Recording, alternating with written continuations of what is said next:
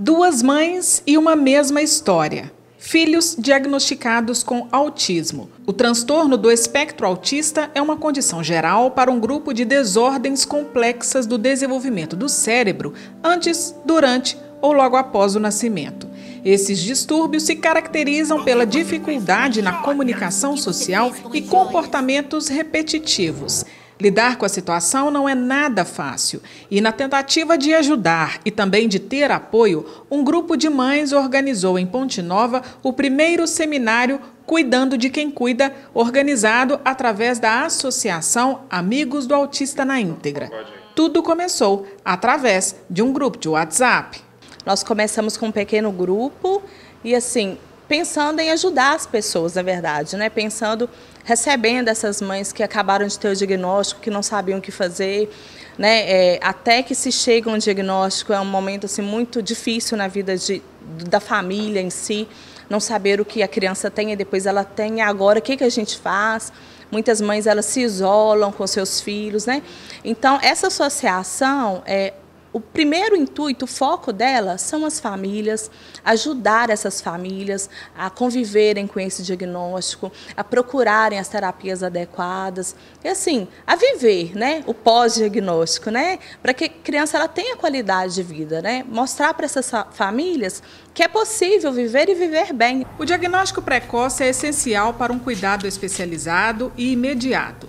A demora provoca sofrimento tanto na criança quanto na família. Entre os sintomas do autismo, que podem ser associados com deficiência intelectual, estão dificuldades de coordenação motora e de atenção. Algumas pessoas, inclusive, apresentam problemas de saúde física, como distúrbios do sono e gastrointestinais.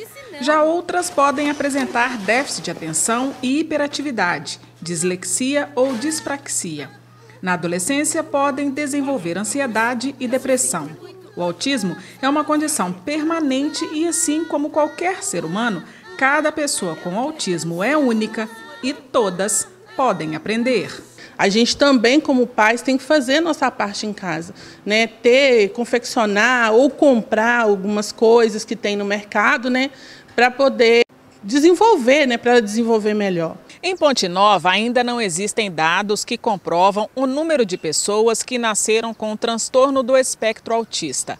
Porém, no Brasil, de acordo com dados de 2017, existem mais de 2 milhões de pessoas que são autistas. As causas ainda são desconhecidas. O preconceito, a falta de informação e também de políticas públicas na área da saúde para o tratamento dos autistas ainda são os grandes desafios enfrentados pelas famílias. A gente não para de pensar no futuro e a gente fica pensando ainda em todo preconceito que existe, né?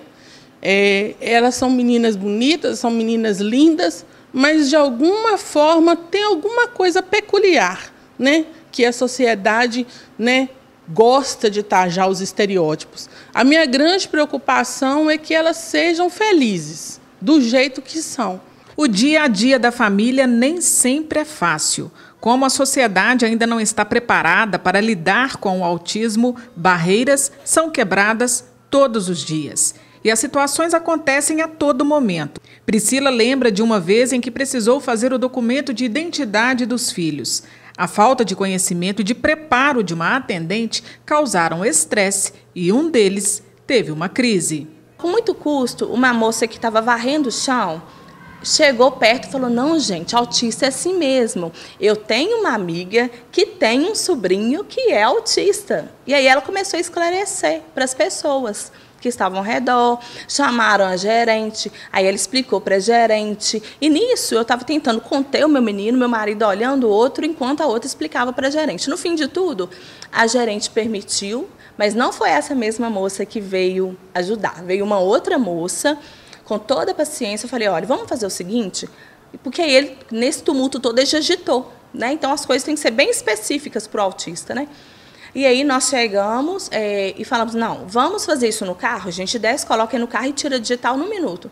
E foi o que aconteceu. Desistir é uma palavra que não existe no calendário dessas mães. Eu não é, desisti porque eu tenho Deus. Né? Porque tem momentos que você fala, eu não quero mais sair de casa, eu quero só ficar dentro de casa, eu não quero é, ter que me confrontar com essas situações. Você põe seu filho é, à mercê de tantas situações onde as pessoas estão ali vendo, né, seu filho daquela forma. Então, assim, é muito constrangedor, sabe? Mas é por isso que eu vou lutar, né? É por isso que nós vamos lutar, porque as mães não precisam passar por isso. A sociedade precisa abrir os olhos e entender, né? Que existem pessoas diferentes, né? Elas nasceram assim, né? Eu acho que a busca dos pais é por cada dia ver que pode fazer um mundo melhor. E essa é a minha intenção, que a gente consiga tocar e sensibilizar as pessoas para que acolham nossos filhos. Todo mundo tem direito a trabalhar, a ser feliz, a estudar. Uns com mais dificuldade, outros com menos dificuldade. Não é autismo que traz dificuldade. Tem outras pessoas, pessoas que têm dificuldades, ditas normais, de português, matemática, geografia. Isso não é entrave. O entrave é o olhar. Esse olhar que põe, que detona, que abala, é esse olhar que a gente tem que perder. Esse olhar tem que mudar. Esse, esse olhar tem que ser um olhar sensível para tudo. A diversidade está aí, a gente tem que abraçar.